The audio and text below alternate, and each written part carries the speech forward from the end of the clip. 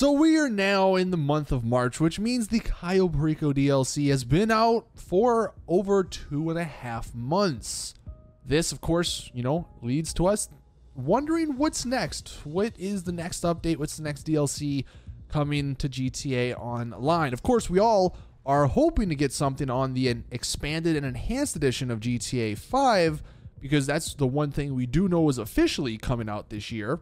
But speaking of this year, it might not come out this year. It was speculated that it might be getting delayed because now there's no longer a release date on the trailer.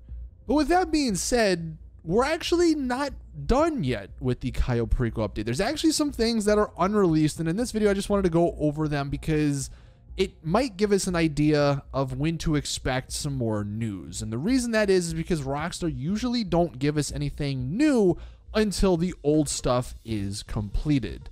So while many of you guys probably think there's nothing left with the Cayo Perico update, we actually have some stuff that uh, you might have forgot about. So let's go ahead and hop into it. Now, the first thing we'll start with the drip fed cars. We pretty much have gone through all of them, except for one. Although we already got this vehicle on Christmas, I believe. So I'm not entirely sure what's going to end up happening with this vehicle. But if we go through the three websites, we obviously already have the Itali, whatever that new car is. We got that a long time ago.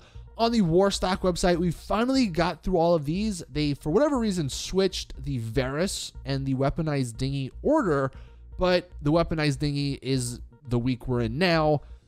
So all the vehicles from this website are out. And then finally, moving to the Southern San Andreas website, we have all of these except for that Brioso 300. But that Brioso 300 was again released around Christmas. Like I remember it being on the thing on this website. So I don't know exactly if Rockstar are going to re-add this again because they've already technically added it.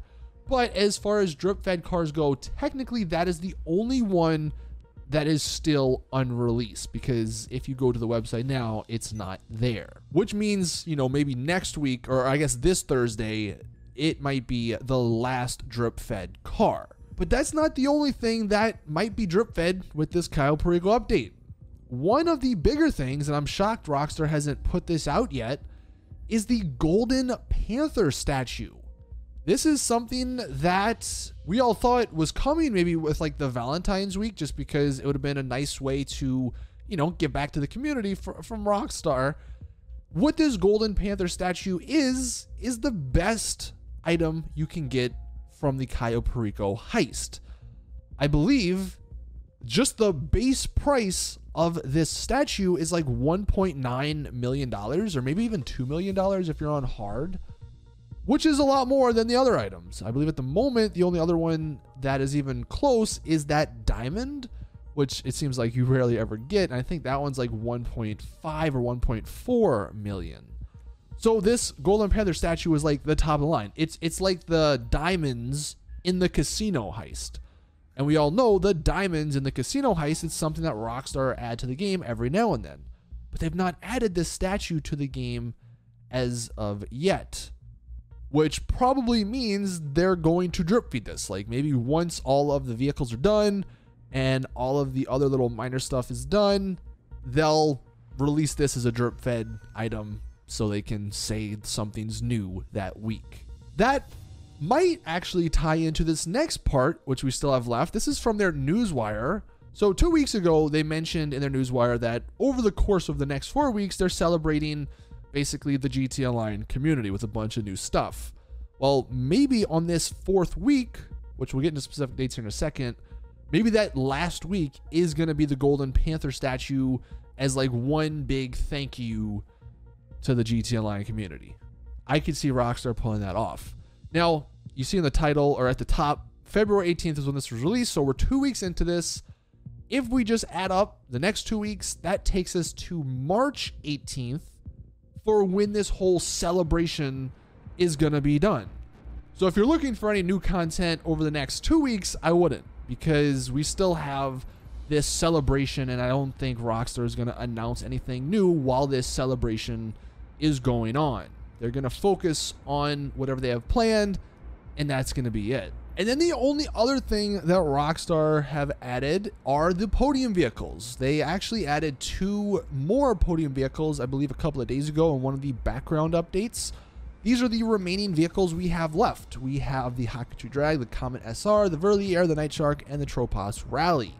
That is five vehicles, which will actually take us to the 1st of April, if each one obviously comes out each week.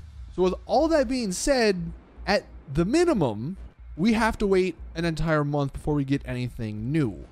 Now, on these podium vehicles, what's interesting is normally Rockstar add like five or six at a time, but this time they only added two.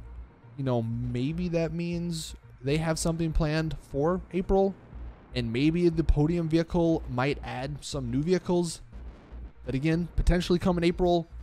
That might be too optimistic thinking, but it is something to note. But that pretty much wraps it up. That is all of the unreleased content still. We have five unreleased podium vehicles. We have two celebration weeks still to go through. And then technically we have one unreleased vehicle still, and then that unreleased statue. So even though it may seem the Cayo Perico update is done, it's not really. We still have a, a couple of weeks left. So anyway, that's going to do it for this video. Just wanted to make a quick update and let you guys know exactly what's going on and, and sort of what to expect. Again, it seems like you shouldn't be expecting anything big as far as, you know, new DLC news for the next couple of weeks. But thank you guys for watching. So do it for the video. Please drop a like if you did enjoy. Subscribe for more GTA content. And as always, I'll see you all in the next one.